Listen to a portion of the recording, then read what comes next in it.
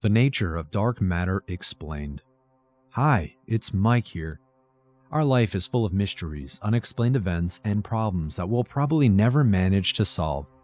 Usually, strange events and legends are connected with night and darkness, since it's the period of the day in which nothing is clear and the sunlight that lights up everything is absent.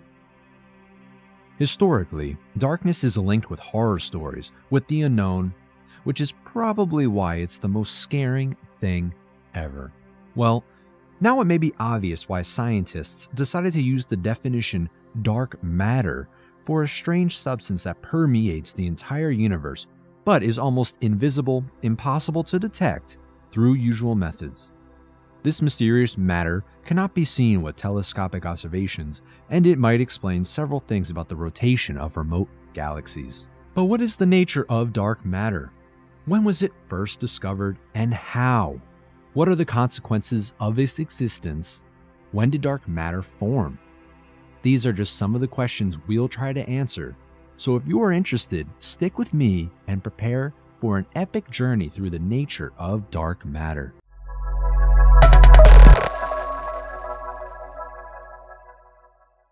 When talking about dark matter, we are dealing with one of the most important problems modern physicists are trying to solve. To understand what dark matter is, we firstly need to give a proper definition of matter. Matter is any substance with a mass. Everything that we can touch around us has its own mass since it's made by molecules that are composed by atoms. However, in physics, we must get deeper into this definition to understand why dark matter is something that is totally different from what we are used to knowing. In the last two centuries, we have discovered that atoms are not indivisible, but they are composed by smaller particles. Most of you surely know that they are made out of protons, neutrons, and electrons. But physicists have discovered something more. They understood that protons and neutrons are made of smaller particles called quarks. What a shocking result! And why do they have a different charge and behavior? This is a brilliant question, and here is the answer. Quarks are characterized by a spin and can have different flavors. They differ for electrical charge up, down, charm, strange, top, and bottom. We have found out that the most common ones are the first two, and they combine in different ways to form the particles of our atoms. The proton is made up of two quarks up and one quark down, whereas the neutron is composed of two quarks down and one quark up. Quarks and electrons are some of the so called fundamental particles. Everything in our world is made out of these tiny objects. More precisely, we define as hadrons all particles composed of quarks, and if the number of the last one is odd, we call them baryons. We've reached the answer to the previous question what we commonly call as matter is everything that is made of baryons. So, what is dark matter? Probably, dark matter is not baryonic, and the reason why is really difficult to detect them, and that it doesn't interact with electromagnetic radiation. What does it mean? Well, differently from baryonic matter, it doesn't absorb, reflect, or emit light or other types of electromagnetic radiation like X and UV rays or microwaves. You can easily understand that it's almost impossible to detect something in the night sky if it doesn't emit any type of signal or light detectable from our telescopes.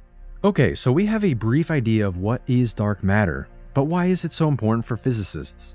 Why do they consider a problem not knowing this particular substance? Well, through several studies, it has been shown that dark matter accounts for nearly the 85% of the mass of our universe. A pretty impressive number. And there's more. In the beginning of the 20th centuries, Einstein proved that mass can be converted into energy through the worldwide known law E equals mc squared.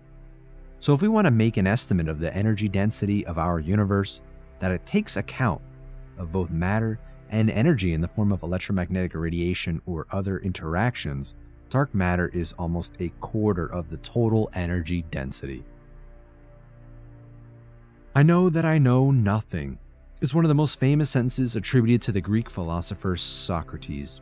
Well, It perfectly describes the condition of modern scientists. We have understood that we know almost nothing about the 85% of the matter in our universe. This is pretty common in astronomy. The most we study, the more we discover to be ignorant and far from achieving a complete knowledge of our world. But when was dark matter discovered and how? We need to start from the 19th century when Lord Kelvin, the one who announced the main principles of thermodynamics, made and estimated the mass of our galaxy, and he found out that it was lower than the number of stars that can be seen in the night sky.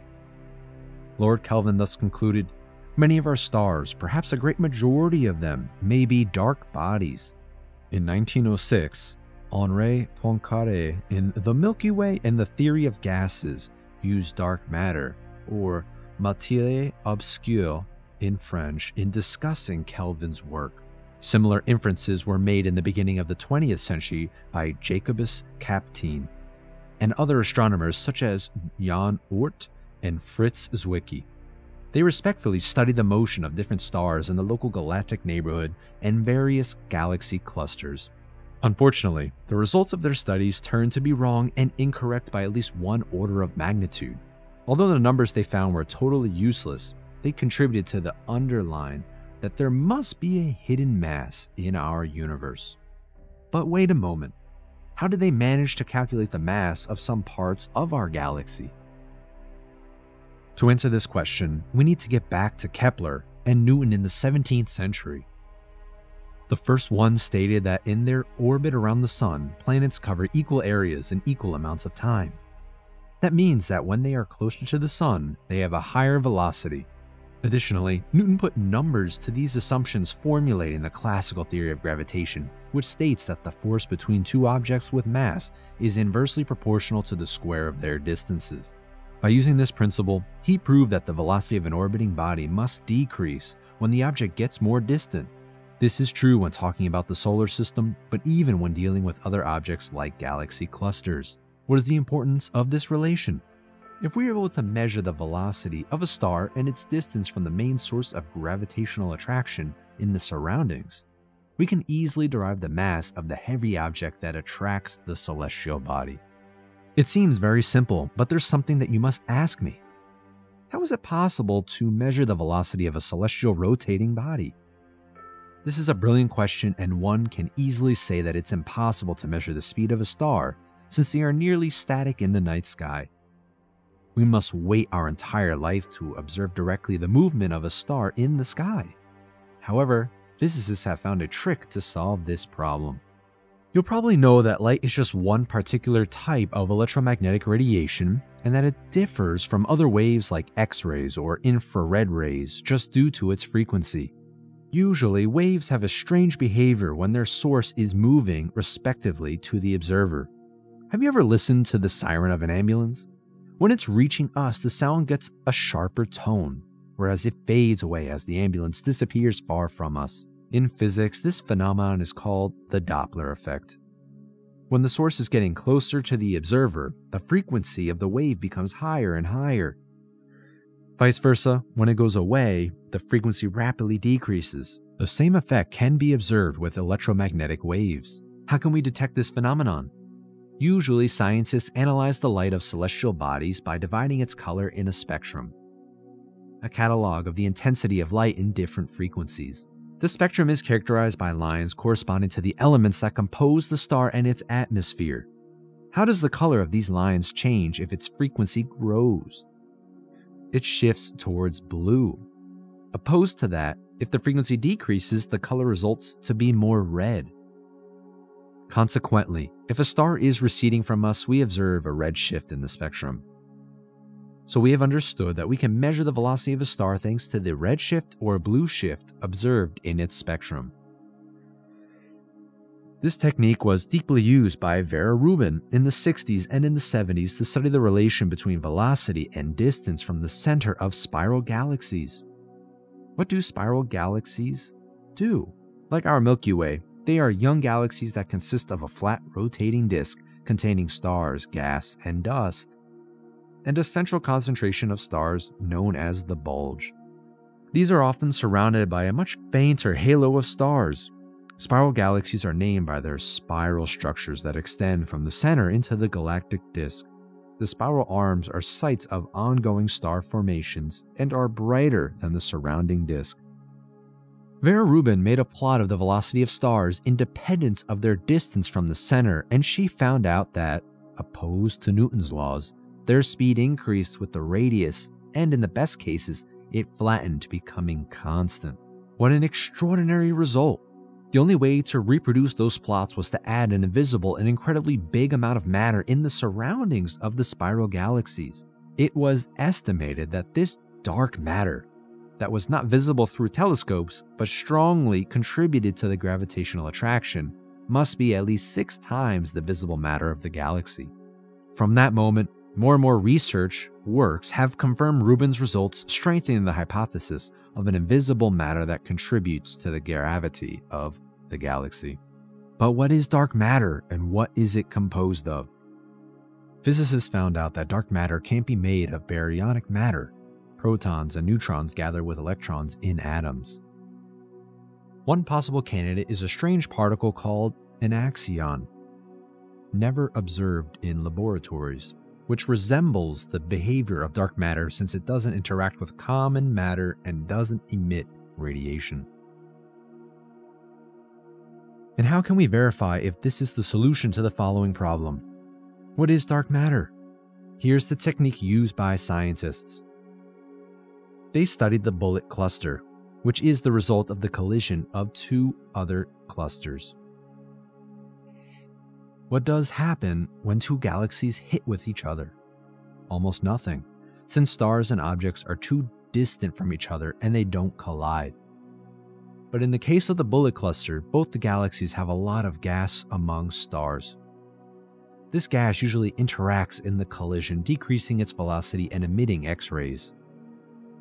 As a matter of fact, by observing the area using the Chandra X ray observatory devices, astronomers reconstructed the images of the two collided clusters, and they found almost in the middle of them an interesting cluster of emitting gas. Further measurements have been made on the gravitational effects of this gas. As a matter of fact, if dark matter is made of axions, they must be hidden in the surroundings of the gas, how is it possible to measure the gravity of these clusters of gas? We can use the incredible results found by Einstein. He discovered that gravity alters the geometry of space, like a heavy ball on a towel. This deformation of space affects even light that goes on a straight line on a curved space. What is the result of this theory? Sometimes heavy objects deform the images of other bodies around them like a lens. In fact, this phenomenon is called gravitational microlensing. By observing the images of galaxies and stars, physicists have found that the gravitational distortion created by the gas cluster in the bullet cluster implies the existence of some invisible matter around the gas. This extraordinary result is another proof of the existence of dark matter. But in the end, what is dark matter? Even if this research work shows that probably axions are the constituent of dark matter, we can't state rigorously what the nature of this substance is. However, we are ready to undergo more and more observations to find out something else about one of the most fascinating topics of modern physics the nature of dark matter. Are you amazed by the nature of dark matter? Did you already know the existence of a non baryonic component of the density of the universe? Drop a line below.